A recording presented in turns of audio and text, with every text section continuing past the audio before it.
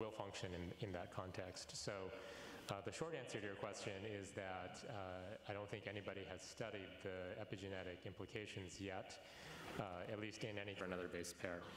But the irony is that uh, standard genome editing methods, including the use of CRISPR-Cas9 nuclease, have difficulty correcting these single nucleotide And because of that, we can now start to collect uh, many, many individuals' uh, genomic information.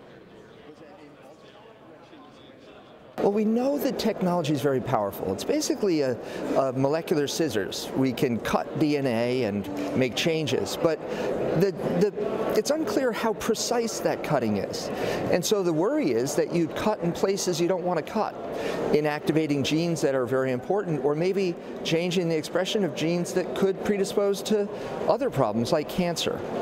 So we're clearly still getting a grasp on the science.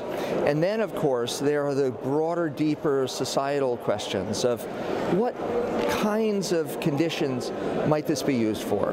There's certainly more acceptance of the use for alleviating disease, alleviating suffering.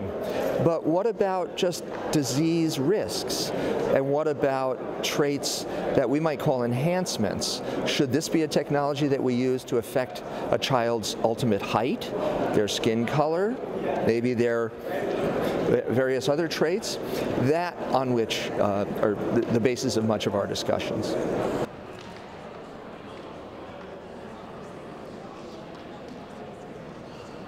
I think, um, as, especially because the technology is moving uh, so fast, uh, we really need to have open dialogues, such as this uh, summit here, uh, as well as transparency uh, in the way that people are carrying out uh, their work.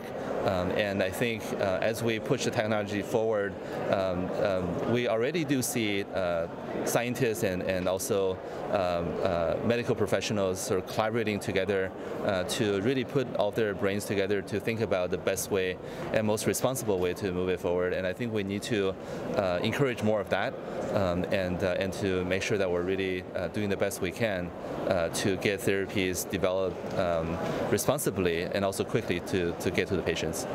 Uh, greater investigation, uh, but there's enough of a diversity of cytosine